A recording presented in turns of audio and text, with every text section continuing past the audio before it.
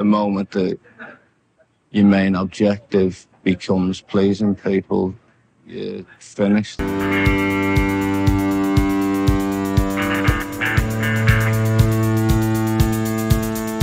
think music should be about magic and not about entertainment. So.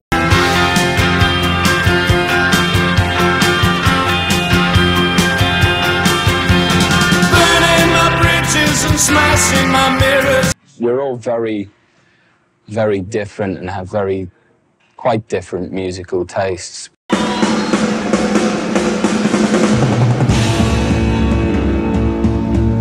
Every time I pick up a guitar, I don't know what I'm going to do. It'll just happen.